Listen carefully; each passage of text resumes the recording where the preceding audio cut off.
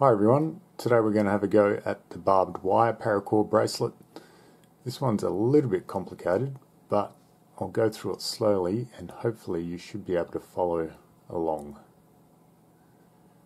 I'm using two pieces of paracord to make this one today. One piece is two meters long or around about six and a half feet and the other piece is 135 centimeters long or around about four and a half feet and I just want to put them together like this with the longer strand on the left side and the shorter strand on the right hand side. And then I want to feed out a length that's equal to the length of the bracelet I want to make. And then I want to give myself another 15 centimeters or so to make a button Then I just want to take this right hand strand over those two center ones,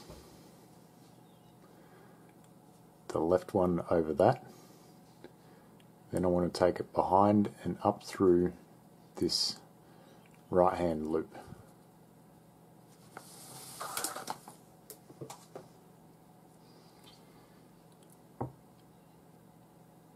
Now I want to take this left hand strand up through that right hand loop.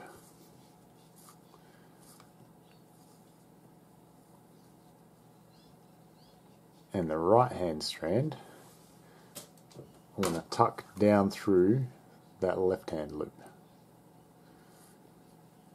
Pull that all the way through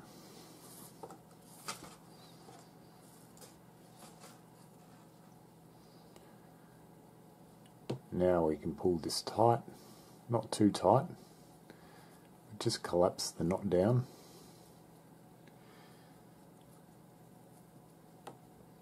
And I just want to feed out a little section here at the top. That's going to form our loop for the loop and knot closure.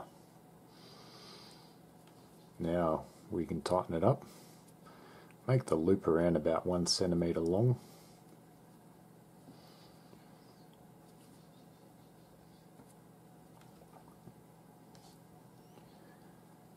And now I just want to cross these two center strands over. So that we have alternating colors, one black, one yellow, one black, one yellow. And you should find that these two center strands are the shortest ones. And this right hand side should be shorter than the left hand side. Once you have that, we can start braiding. I want to start by taking this right hand strand underneath one and then over two and pull it to the other side and I just want to leave a loop there on the right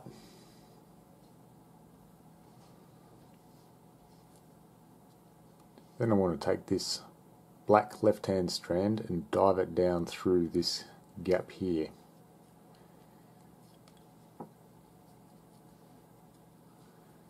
Pull that all the way through.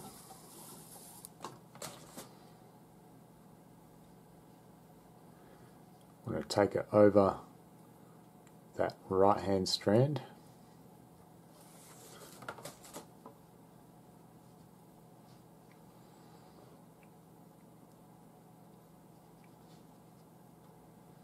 and I want to take it up through this right hand loop and then down through its own loop. So up through that right hand loop you would have formed another loop down the bottom here down through its own loop. So you should end up looking something like that.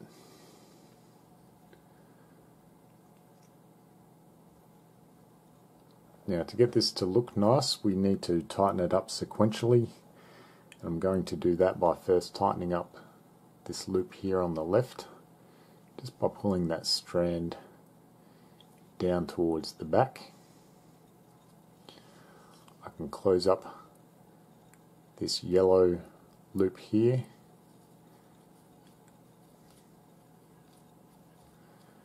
and then finally take the rest of the slack out of the knot and firm the whole thing up.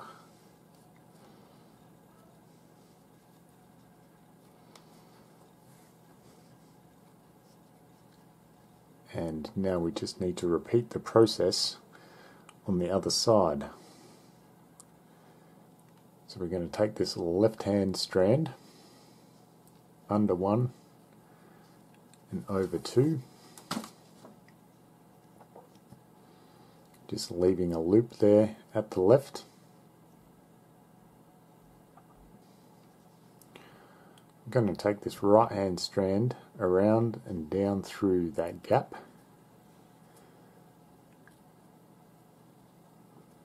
Pull that all the way through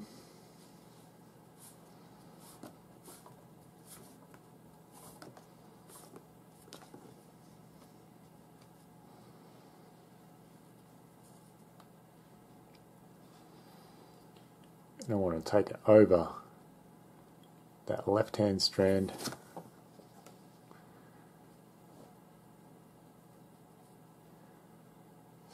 Then up through that left hand loop and through its own loop. So up through that left and then down through its own loop down there. And pull that all the way through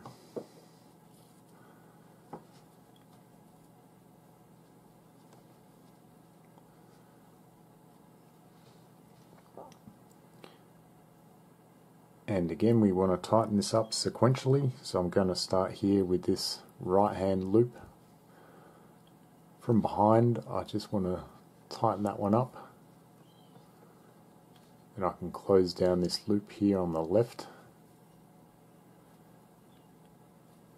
And then finally take the slack out of the rest of the knot and firm it up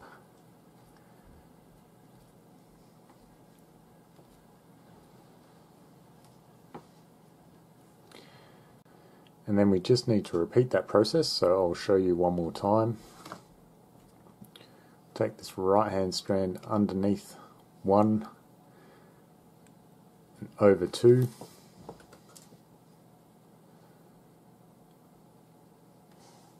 And take this left hand strand down through this gap here. Pull that all the way through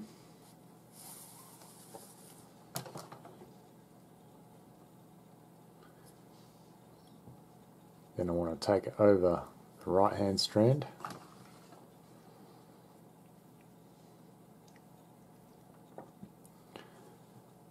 Up through this loop and then down through its own loop.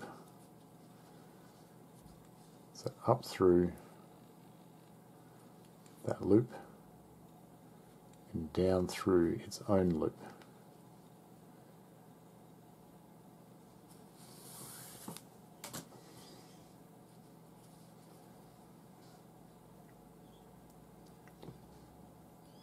Again, we want to tighten this sequentially, starting here on the left from behind. I just want to pull that through, close the loop here on the left, and then pull the remaining slack out of the knot, firm it up.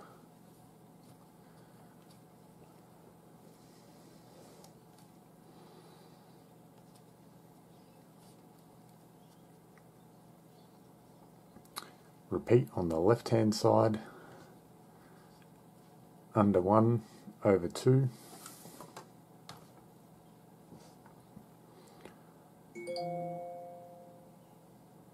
I want to take this right hand strand down this gap. Pull it through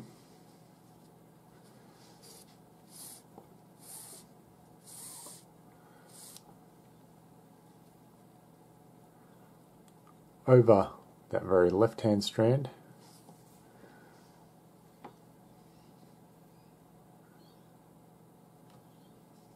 And I want to take it up through this loop and down through its own loop. So up through that left loop, then down through its own loop here.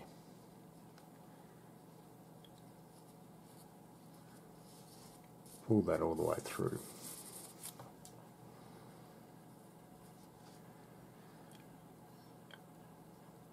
Again, we want to tighten it sequentially, starting here on the right. Just pull that tight. Close up this left-hand loop. And then take the remaining slack out and firm the whole lot up.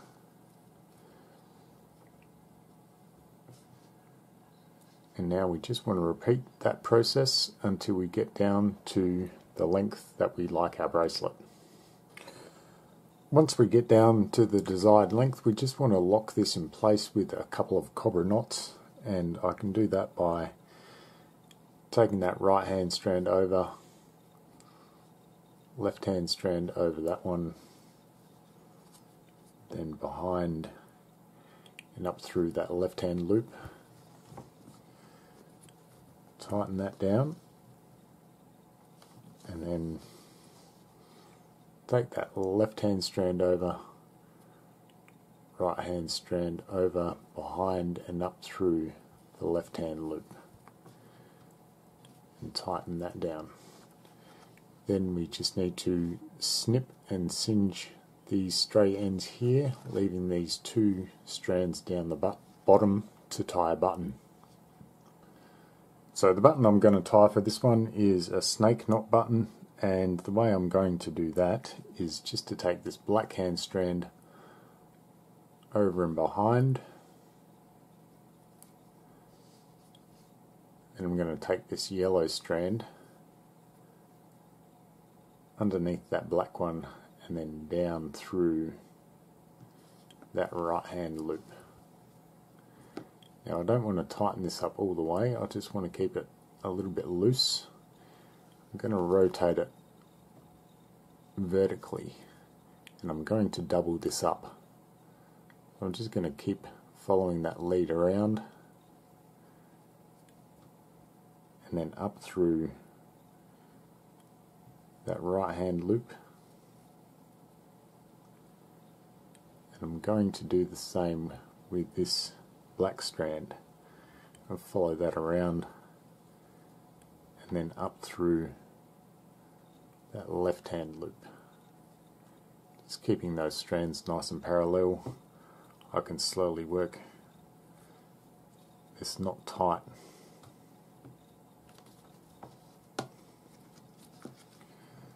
So I just need to finish tightening this up and then we can snip and singe these ends off and we should be finished. And here's the finished piece.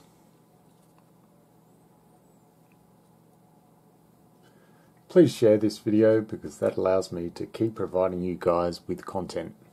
Thanks for watching.